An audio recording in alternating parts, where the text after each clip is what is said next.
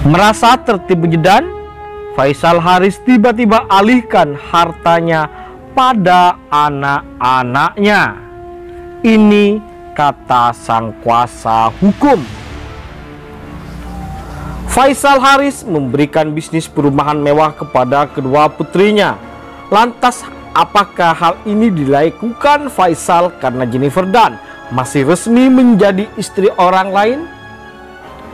Jennifer Dunn masih menjalani proses perceraian dengan suami pertamanya Bobby Michael Reza.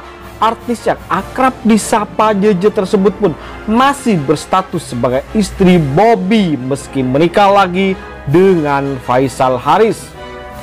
Kendati begitu, JJ masih belum memberikan pernyataan langsung mengenai tudingan dirinya melakukan poliandri.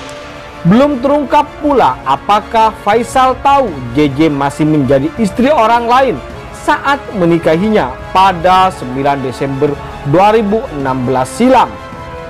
Saya nggak bisa jelaskan detail. Kalau belum ada keputusan ikrah dari pengadilan, ya statusnya masih istri orang. Kalau kecolongan atau enggak belum dapat informasi ujar Firman Chandra selaku kuasa hukum JJ pada Senin 16 Maret lalu. Saya belum bisa mengatakan JJ poliandri atau enggak. Saya belum ketemu mereka, belum bisa mengatakan detail strategi hukumnya gimana, apakah lawyernya diganti atau gimana. Di tengah-tengah kasus perceraiannya, JJ dengan Bobby Faisal diketahui memberikan bisnis perumahan mewah kepada dua putrinya, Sakila dan Safa Haris. Rupanya mantan suami Sarita Abdul Mukti tersebut ingin anak-anaknya belajar mandiri. Sakila punya komplek perumahan sendiri di Cenere Sakila bahkan tinggal di Cenere meskipun awal mulanya dari Mas Haris, ungkap Firman.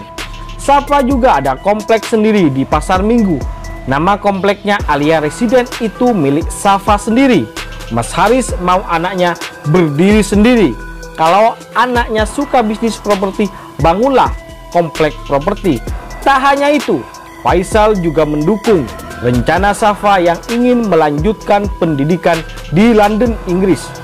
Firman pun menegaskan bahwa perumahan mewah yang diberikan Faisal kepada kedua putrinya bukan termasuk harta gono gini dengan Sarita. Tidak diagunkan ke bank atau ke mana. Komplek perumahan anak-anak itu beda sama harta gono gini Sarita, tegas Firman Chandra. Sakila punya klaster di Cenere, diolah Sakila sendiri. Ada banyak rumah, Safa juga punya. Itulah guys, Faisal Haris yang tiba-tiba mengalihkan hartanya pada putri-putrinya. Lalu bagaimana menurut kalian? Apakah benar Faisal Haris kecewa pada Jedan, JJ, karena merasa tertipu masih menjadi istri orang atau bagaimana kira-kira menurut kalian jadi jangan lupa kalian komentar di bawah like dan subscribe. Terima kasih telah menonton